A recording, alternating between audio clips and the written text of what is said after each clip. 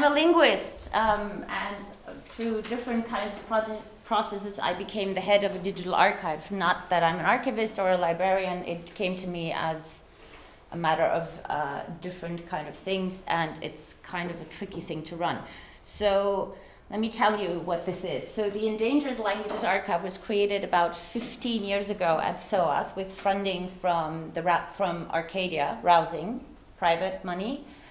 Um, and the funding ran out in 2014, and now it's taken over by the SOAS Library. This is an archive for language documentation records, and it's responding to the situation worldwide that because of globalization, climate change, and urbanization, the 7,000 languages that are spoken today are in danger. Um, and linguists predict that by the end of this very century, half of them will have fallen silent. So, this money that has come in is to give money to linguists all over the world to go into these places and to record the languages as they're still spoken today and to bring back this material into this digital archive and make it publicly accessible. So um, we have, so we give grants at about one to 1.45 million pounds every year to people all over the world. Um, we have no restriction on host institution or on um, host on grantee nationality. So we give grants to the Ivory Coast, to Papua New Guinea, to wherever the application is successful from. And so what this means is that a lot of people who have no training in digital um, data management uh, collect a lot of data that we then need to get into the digital archive. Make sure you're in the microphone. Hello? um, I think you can hear me. I usually speak quite loud. Anyway, so the background, the framework that we support is the open research framework. The data should be shared, it should be cited, the research should be reproducible and transparent, and the material should be publicly accessible. This is important to make that difference for us because these are people that record people talking about their lives, about political circumstances, about the histories. It's personal, it's private data, and we are in a legal, very difficult situation because of privacy rights that we cannot abide by. So when we talk about publicly accessible, what we mean is to registered users of our archive. Anyone can register, but it's not open access in the strict sense of open data. So how can you imagine this? So the way to think about it is this is Sophie Salffner, who is a wonderful colleague of ours. Um, she gets a grant from us or AHRC or LabVIEW. She goes to the field with audio and video recorders and she records people talking, she records stories, rituals. Then she transcribes and translates what they say. She analyzes the sounds of the language. She writes a dissertation, gets a PhD. She published a paper about it, and then she becomes a professor in Nigeria, or a poet in Germany, a boat builder in Spain, a human rights activist in China. So, what happens to the materials? So, this is the process that we are trying to handle, namely, they're collecting a lot of material, primary and secondary material, and this needs to go into our digital archive so that we can make this available to linguists and to researchers worldwide, but also to the community members that have engaged in, this in these projects. So, what constitutes data in our project? Video recordings, audio recordings, photographs, annotations, so transcriptions, translation, morphological analysis, lexical databases, text files, and metadata files. And I've added the formats behind it, namely the formats that we accept, which doesn't mean that these are the formats that we get from our depositors. The key part is that the linguists that are conducting this fieldwork are not trained in the creation of digital collections. They're not trained in data management and in recording and record keeping, right? So they have a mess on their computers, which is like, you know, Econ 01 story told by, you know, and Gemini, number one, number two, number five, final, final. And so this is the material that we deal with. Our data is stored hopefully on hard drives, in Dropboxes, on local servers, and in offsite data center. and it gets transferred to us. We have, we only accept archive-friendly formats, MP4, WAV, JPEG, TIFF, and XML, which means that we also have to train our people in creating these um, kind of formats. And if you look at, I've just listed the basic software that our grantees are using, which is, for example, the CMDI Maker, which is a metadata editor tool developed at the University of Cologne, Arbil and LAMUS, which is the software system we're using developed at the Max Planck Institute for Psycholinguistics in Nijmegen. For conversion, Handbrake, Audacity, Avidemux, TS Muxer, we only train and use non-proprietary software. And then for the analysis, Elan, Toolbox, Flex, Praat, and Keyman, for example. So if you think about these are linguists that are trained in linguistic analysis, this is all the stuff that they need to get used to, to work with, right? To convert a video file into these formats, to fuse them together, to then make turn them into MP4s so they can feed them into our annotation tool, Elan, and do their analysis. And then, of course, we need the Windows version, the Linux version, and the Mac version. These tools, Flex and Toolbox, for example, are created by SIL, the Summer Institute for Linguistics, and they decided 10 years ago that they're not doing anything on Mac, so there's only Windows versions out there for these things. So, this is the material. So we're trying to train the linguist to create the collection out of their files that they've been recording and to put together all the materials in a way that we can upload it or they can self-upload it to our digital archive. Now, if they don't upload it, we upload it, which means that we have a digital archivist and three to four archive assistants. Then we have a MySQL database that we use to keep track about who's working on what and what has been submitted. And then we have a folder structure with a workflow of instructions, namely first you ingest it here, then you create it, and so on. So how's the data shared? Don't you love these kinds of files? Yes. So someone sends us material. Someone sends us a stick, a hard drive. Then we put it all into ingestion. Then we move it into curation. And then we check the file names. And then we have to change all the file names because they have spaces and extra characters and whatnot.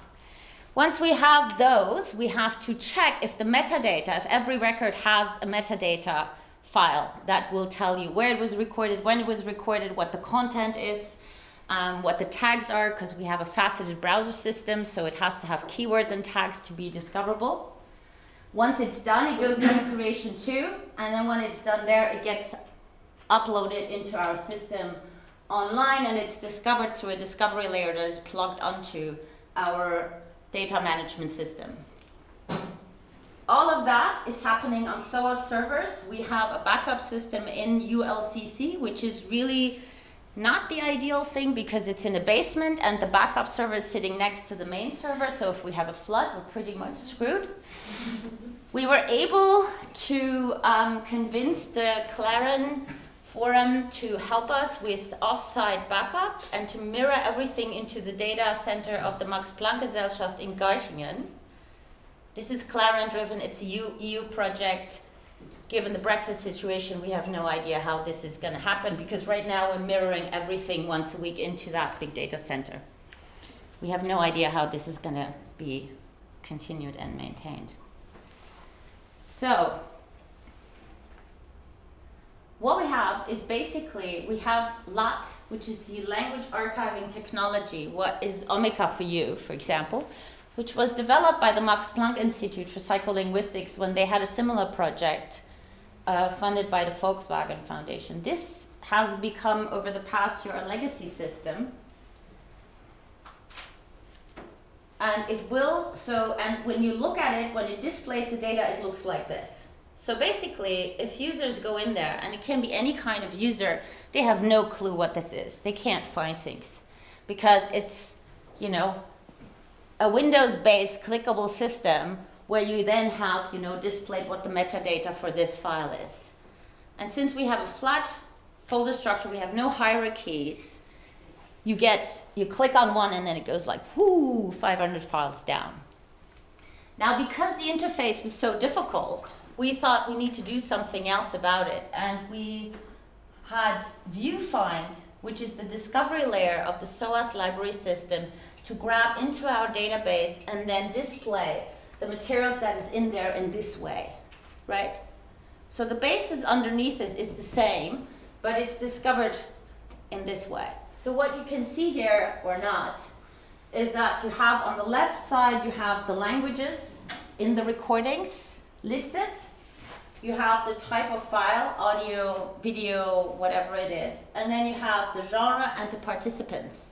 So you can discover, for example, the recordings by a particular person and then listen to them or watch them.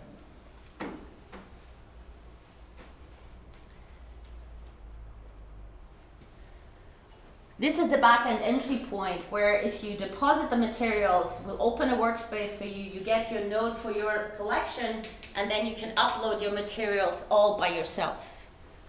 Which is of course always a problem because the server is down, LAMUS crashes, Java doesn't work, the browser has a new update and it doesn't work anymore. So we're constantly like, how do you call the people that put fires out? Yes. Yes, that's what we're doing at all times. Now, our legacy system that we're working with is run by the Max Planck Institute, and we have a student nicely in Cologne who we then call and say, Can you please fix this? Because we don't have anyone at SOAS to manage the system. But if we have problems with VuFind, then that is managed by SOAS. So here you have, for example, a landing page of our system where you can see this is the project, the documentation of modern South Arabian languages, Bathari, by Miranda Morris, location Oman, and there's a summary and how to acknowledge the materials. This is where it was collected, and here's the kinds of materials that you have. So this makes the data available to the public and to other researchers. So you can find it through this interface. Now, if you think about it, that the lo logic that we are applying is we're documenting these languages so that researchers worldwide can share their data and can work with each other. The way this is constructed is as an academic construct, language as an academic construct. Because if, for example, someone in Mexico whose material was collected in Chatino wants to find the recordings of their own grandfather, they can't because this is all in English, it's left to right based and it's heavily text based. So the way our interface is structured is actually stopping people from working with their own materials. Another challenge that we're facing because we have the hope to make it available to not only the academics but also to the public and also to the communities themselves. So in principle, what we have is that we have the linguist that records the primary material, creates the metadata, determines access. So determines whether or not when you go on a page, you can listen and see the materials or whether there's access restrictions because there's any kind of sensitivity right? It could be you know it could be a women's language that only women are allowed to listen to. So if you want to see that material you have to request access from the depositor they have to convert the materials, they have to organize them and back them up, and then they send it over to us. What we do is we train them, we curate things, we fix things constantly, and we upload it. We back things up and maintain the system. So this is basically what we do. And to make possible that a user can discover, access, understand, use inside the materials. So this is basically what we're trying to do and where we stand right in between those two sides. And now comes one of the nicest points in uh, Nathan's question, which is um, how will your data be archived for posterity? Well, we are now have become uh, part of the National Research Library at SOAS. Before that, we were like our own small unit based on private funding. So now we have been integrated into the research library at SOAS, where we hope to have a guarantee that this material will be kept available. However, it's the institutional responsibility and given the financial crunch on the institutional on the institutions, the problem is, of course, if this is not used in teaching, why should we invest continuous money to maintain the systems that are running the whole thing? That's the scary part. And this is the end of what I have to say.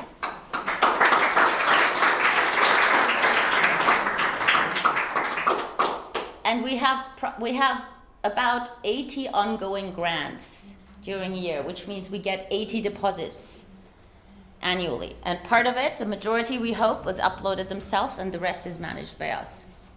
Yes. Just out of curiosity, it may not be quite what you intended, why do you treat JPEG as a suitable format for archiving? Uh, I don't know. Oh, okay. We might convert it into TIFFs. Okay, Same where we get some, some word processing documents and then turn them into PDFs. right. I have a question about VuFind, which is, um. Yeah. So VuFind is the, is the discovery layer that's used for the whole SOAS library. Yeah. So if I just go to the main SOAS library page and type in something like South Arabian languages, Yeah. will that, will that bring me to a record for the submission you were showing? Thank you. No. Guess what? So this is another thing. This is about the politics behind the institutional funding, right? So what it will do, it will discover everything in all the digital collections but in ELAR, because we were in version three, and then they updated everything else to version four, but not us. Yes, that's that's a that's a longer discussion Okay, yeah, over okay, yeah, alcohol. yeah, yeah, maybe. Yes. Um, this, this may sound like a very strange question, and maybe there's not a way you can deal with it, but you mentioned that when there are restrictions on access, one needs permission from the depositor. Well, I have no uh, connection with such project like this, but at least it used to be the case that Japanese libraries, Japanese archives, hold manuscripts. If you wanted to see them, you need to you needed to ask the person who had donated the manuscript. Usually they were dead, right? And the response then was, "Well, you're out of luck." Yeah. And You tell me. this is just crazy, right?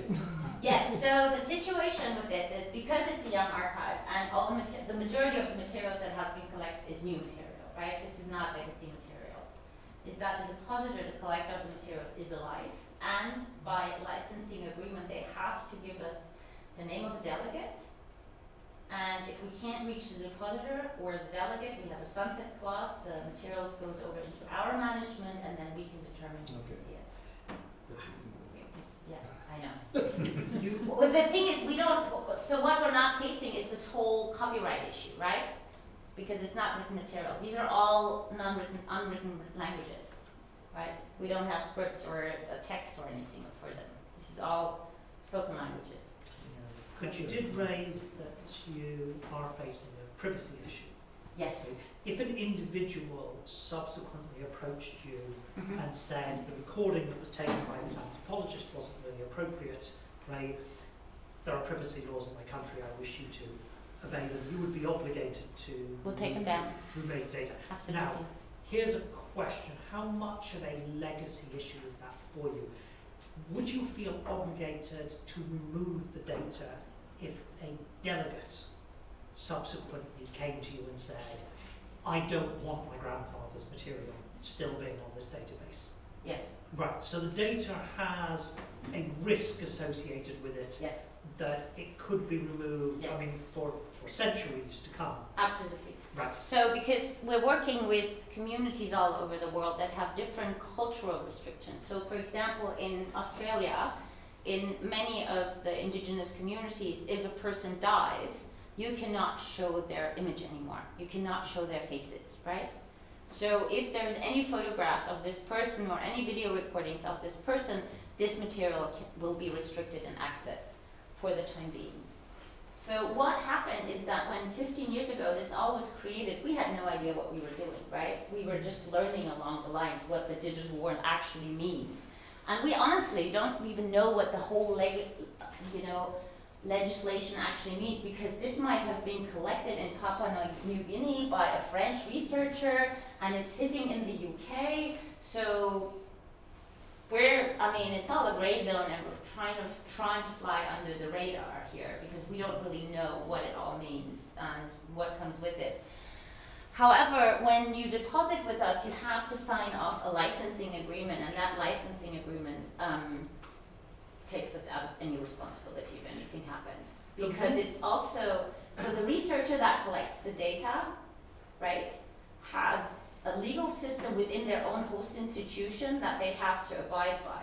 Now, the interesting thing is, because we're funding worldwide, the Anglo-Saxon systems are very restrictive, right? So you have to go through IRB control in the US. Uh, you have ethics uh, control in the UK. You have it in Australia. The French have nothing. The Germans don't have much. So if you talk to a German person, they're like, what? What's the problem? Now, what is interesting about this is that the researchers are not used to think about access and the fact that they are creating a digital collection, they're going in there to write a dissertation about a topic, to write a grammar. They don't think about the fact that they're putting this on the web and the entire world can see this. And once they're putting it in, they're suddenly realizing, oh my god, anyone can see my messy transcription. Oh my god, and then it comes to paranoia that, oh my god, if I put this all up there, then someone could scoop me. Which is, of course, a bit bizarre because you're probably the only person who's ever been to that village. It's the only person who can manage to go through this data sometimes. But everything comes at once, right? Digital, access, shareable, open access, open data.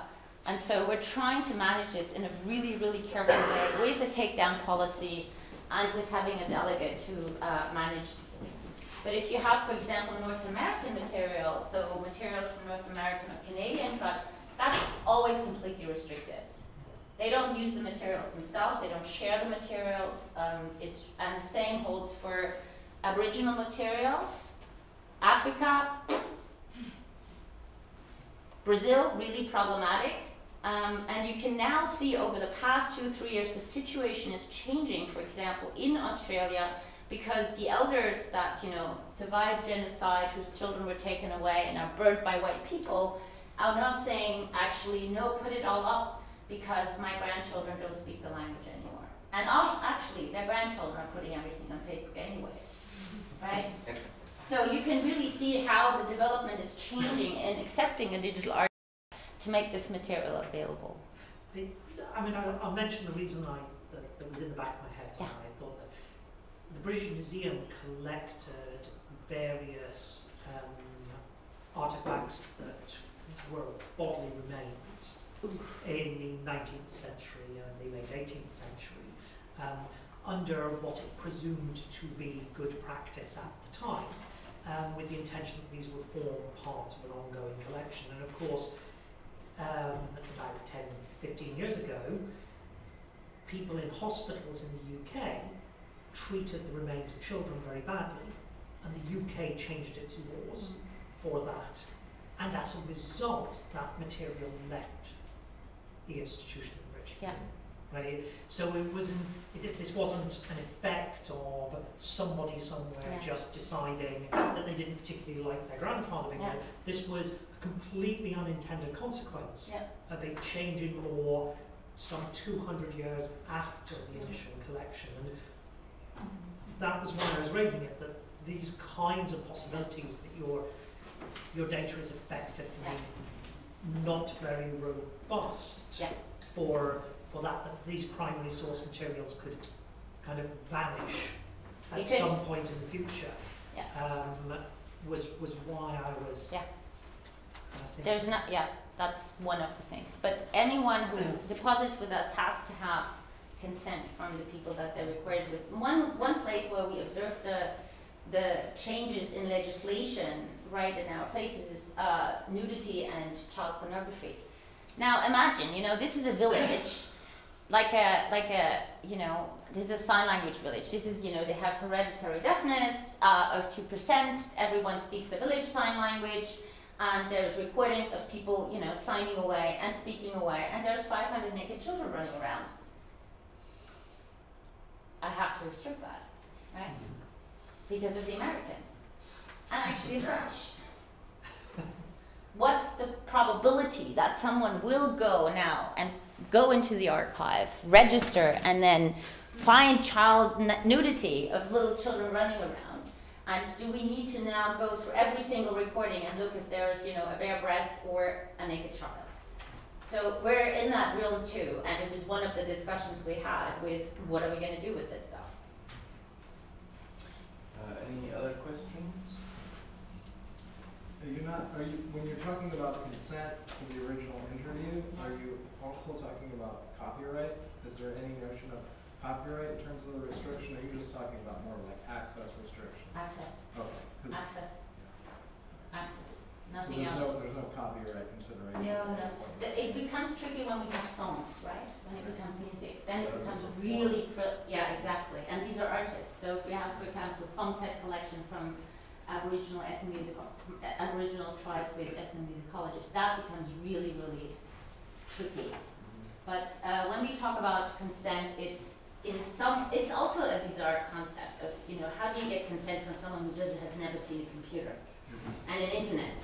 Yeah, here I consent that this is. So, but we have to have, or the depositor has to have this consent based by the university. And there's legal bizarre situations. So we funded, we funded someone from Berkeley, and the research officer was very zealous. Uh, they had to sign the licensing agreement and said, we cannot sign that licensing agreement. The, the researcher is a PhD student, cannot sign the licensing agreement.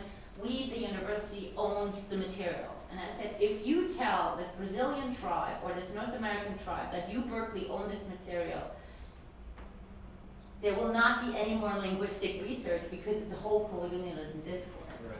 So that's when I said, okay, take the licensing agreement out of the contract and just send it to the PhD student himself to sign it and we're going to be fine. So we have to manage all these legal problematic situations because no one knows what's actually happening and there's a lot of bizarre kind of conflicts that are coming up in these kinds of, with this type of material. And music is tricky. Yeah. So that's copyright and that's, so when you sign up for us in our archives, you have, so this is why we call this public access. You have to sign up. And when you sign up, you abide by our Creative Commons, whatever, you know, non-commercial, only educational use, blah, blah, blah, blah. And we allow people, if you want, we would watermark the materials. Just to, yes, Um, on a different topic, um, I was just wondering, uh, uh, when it comes to thinking about these processes Yeah. of data management, yeah. file formats, and you know the, the nitty gritty of those sorts Yeah. of details, are there any conversations that are had between your projects and other projects doing similar work, i.e., curating, preserving endangered languages Yeah. or literature, or are these processes sort of thought up within these individual projects? So there was a, we, we founded it, we did, we have an organization called DELAMAN, which is for Endangered Languages Archives. And it's really interesting because all the Endangered Languages Archives, the archivists are all linguists turned archivists. And so we're trying to support each other in, you know, what the formats are, or we workflows or teaching materials and whatnot. But each of the archives sits in a particular institutional politics and financial situation that determines what they can do and what they cannot do. But we, when it comes to those formats and whatnot, we look i- into best practices that are generally agreed upon the archiving and library institutions about formats. So we follow those guidelines on the, on the bigger scale, and then we help each other on the smaller scale. How do you, what kind of non-proprietary software can you use to refuse the files that come out of a prosumer camera and all these kind of things? And right now, we're trying, for example, to invest together into an updated metadata editor, right? So they have a very simple interface, because we hate Excel sheets. Too much freedom. Okay, I think actually it's time uh, to thank Mandana for this very.